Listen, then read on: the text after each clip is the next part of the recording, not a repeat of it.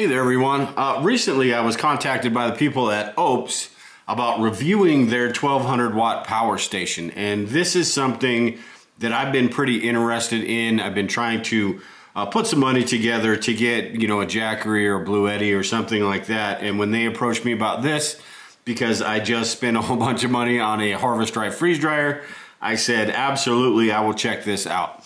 I've seen a couple videos about this. I know Alaska Prepper uh, has a, a, few videos on different units and he loves them. Uh, I want to do a video today and go over my results using this for the last few weeks. Now, this isn't going to be the real technical video, plugging all the machines in to get the volts and amps and watts and all that stuff. There are a few of those out there and they're good videos. I'll link to uh, one of them below in the description. But this is going to be more of a my use case, uh, what I've seen from this from a preparedness perspective, just, you know, things around the house using this. I've probably drained this uh, four or five times, drained and refilled it four or five times.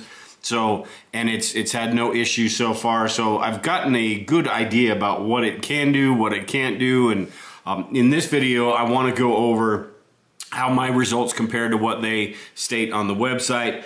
I want to talk about the pros and cons of this unit compared to some of the other brands out there, as well as the size of this for preparedness in general. Is this good? What, what is this going to be able to do? What is it not going to be able to do in some sort of emergency or grid down situation? Now they sent me this along with the 100 watt solar panels uh, which I will talk about here in a bit as well. And you can also uh, plug this in. I've, I've, got another 100 watt solar panel that I plugged it into and I'll, I'll give you the results of that. So at first, first off, we'll go through this. What comes with this package is you've got the, the instruction manual here. You've got this adapter that you can plug it into a car lighter uh, and then plug this into and you can charge this up uh, through your car, although it does take quite a while. Uh, and then it comes with the power cord where you can charge it from the wall. Uh, this power cord right here. And then the unit itself, it's got the 10 outlets for charging. You've got the, the DC side over here. You've got the USBs. You've got the Type Cs. Over here on the AC side, you've got three outlets right here and the battery itself is a LiFePO4 battery, which is a huge selling point for me. It's a 992 watt hour capacity. This is a 1200 watt AC pure sine wave inverter, uh, 3600 watt surge power. Uh, like I said, it's got the 10, 10 outputs, three ways to recharge it. Like I was just talking about, you've got your car, you've got the solar, and you've got the AC adapter. Uh, the, the screen right here, as you can tell, the one thing that I don't like about this is that it turns off uh, after, I don't know if it's a minute, 30 seconds, whatever it is, but when you're trying to monitor stuff, it's sort of a pain. And then 250 watts max input, which I haven't been able to get up to that, and I'll go through that in a little bit with two solar panels. Uh, but you can get up to 250 watts if you have the means to do so. Uh, and it says here it powers 85% of all appliances. Now with this, I have done this on my refrigerator and it worked absolutely fine. I've done, I've mixed some dough in a dough mixer in the, my little Ninja blender uh, and that, it was a five minute process. So it was only, uh, I thought it was going to be up towards the peak about, about, about 11 or 1200 watts, but it turned out to be a lot lower than that. I've tried it on a hot plate. Uh, a hot plate, uh, boiled water in a hot plate took about four or five minutes that is a 1200 watt uh, hot plate. I have plugged this into my TV, pretty large TV, and it it took about five 5.25, 5.3 hours uh, to fully drain this battery. So, and my TV, like I said, it's a pretty large TV, and the average was about 148 watts. What's cool about this is you can see when you plug something in, I'll just plug my iPad in here uh, and then turn on the DC. When you plug something in, it'll tell you how many watts you're pulling. So my TV through, you know, it, and I also had a voltmeter hooked in here, and this is fairly accurate. Uh, it was, the numbers were different on my voltmeter and this, but it's fairly accurate. Uh, but it pulled about 148, 150 watts for about five 5.25 hours or so before this was completely dead. Now, what that means is that the battery capacity, uh, it, and I've done this a few times, so that 5.25 hours, that means I, I got 791, 795, give or take, uh, watts out of this 992 watt hour battery. Now you've got the inverter, which is going to be a little bit of a loss, but an 80% uh, efficiency is not the best on the market. You can get, like I said, the Bluettis and, and even Jackery claims uh, 85% efficiency. So 80% on this is not uh, not the greatest. I'll, I'll, just put it that way. The DC, I don't have really anything to test the the the efficiency on the DC side, uh, but I assume it's probably pretty close. Possibly even a little bit better because you don't have the the inverter that you have to power as well. Now the price on this, this is where if you're, you know, even though it's only got an 80% efficiency, the price on this is a lot lower than some of the other brands. Uh, this is, and, and that was my concern going in was, okay, if it's got the LiFePO4 batteries, which basically you have 3,500 life cycles until it goes down to 80%, which 80%, considering it's only 80% right now, it would be more like 60% but it really doesn't matter if if those it, it, those batteries will last 3500 life cycles if the unit itself won't last that long. And that's what one of my main concern was uh, I will say I've used this and, I, and I've used it quite a bit for three weeks straight and have had zero issues with it at all. The fan, it's not really, it's not loud. You can hear it turn on. It's like a computer fan, uh, a loud computer fan for, you know, a high-end computer.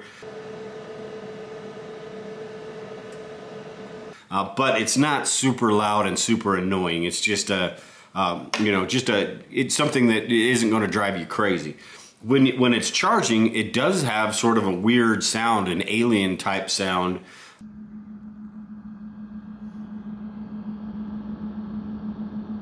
But it's not nothing that you, are going to be able to block it out fairly quickly after that. So uh, the unit itself has stood up so far. So uh, you know it really depends if it the price range you're looking at uh, as far as the watt output, as far as the quality. I know this is almost like blasphemy. I know everybody loves Jackery, but I think that, and I've you know heard from a few people that uh, they it, there's a lot of advertising that goes into it. So the money you're paying goes for that, uh, a little bit of that. I know a lot of the units that Jackery makes don't have the LiFePO4s, and that honestly for me is a deal breaker. Uh, I think they have to have the LiFePO4 batteries in there. So that is a pro for, for this over the Jackery, along with the price. And if this holds up, and uh, if this doesn't hold up, I'll be using this quite a bit. If it doesn't hold up in the next few months, I'll be doing another video on it. Uh, it's, it's done absolutely fantastic. It's got all the inputs on the front. You've also got the light on the back, which is a pretty pretty solid light. It's it's not the brightest in the world, but say you're in a tent, you're in a camping situation, or you're you know in a grid down type situation where you're trying to light up a room or a basement, something like that. This is going to do pretty well. The SOS thing, I, all flashlights and it, everybody has these. I don't uh, know how useful that is. I've never been in a situation where I've had to use it. Uh, but it is it, a cool little feature. The case, it, it, sort of looks like, you know, the color scheme and everything uh, sort of looks like a Jackery. Uh, but, you know, and it's it's sort of got the same type of display and everything as a Bluetti, So uh, it's just, uh, you know, I I don't know. That that to me is is sort of irrelevant. I want to make sure the damn thing's going to work, and that's what uh, I tested out. Now, as far as charging it with solar panels, and towards the end, I'm going to go through uh, my thoughts on as far as for preparedness how this is. But as far as charging, uh, you've got the solar panels here, and I'll pull this over and show you. You've got the solar panel here, which comes with on the back here on the back here, it's got this little pouch, which has got the a pretty long cord in it to plug your solar panels in. And on this cord, you've got, there are you've got this cord as well. So basically, if you've got one input, you're just inputting your solar panel. This is what you would plug in to your machine or your generator. If you've got two solar panels, like I did at one point, I tested this out with one and two.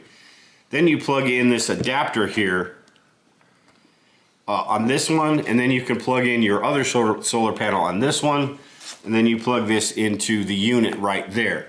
If you are plugging in two of the solar panels, you are going to need this because while this will work uh, for plugging into this solar panel and Jackery or any sort of solar thing, uh, you're gonna have to get this adapter right here, which basically is this end right here goes into, uh, this one goes into this solar panel, this one would go into the other solar panel and this one goes into the power. And then you just plug in these two connectors to your uh, the, to the the Renogy solar panel or, or, you know whatever solar panel you have that takes this type of connector, uh, and that's all you have to do. And then you've got 200 watts right there. Now, when I tested this out, and I'll open up this solar panel here in a second. When I tested this out uh, with one solar panel, I was getting the max I got was 70 watts on this, and I didn't, uh, you know, stay every 15 minutes align it with the sun or anything like that. I just sort of lined it up, put it out there an hour, an hour and a half later, went out there again and moved it.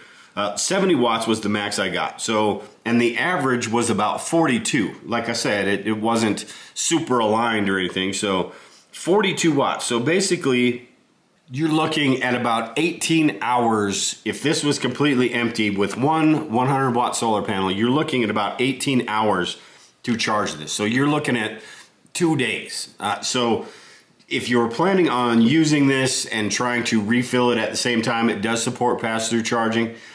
If you're planning on charging this and using it at the same time, uh, that's going to be pretty tough with one solar panel. However, with two solar panels, I did this, I hooked up my Renogy solar panel and I used this solar panel right here and they both output about the same amount of watts. So this is a decent solar panel. You know, Renogy isn't the greatest either, but uh, they both were pretty similar as far as output.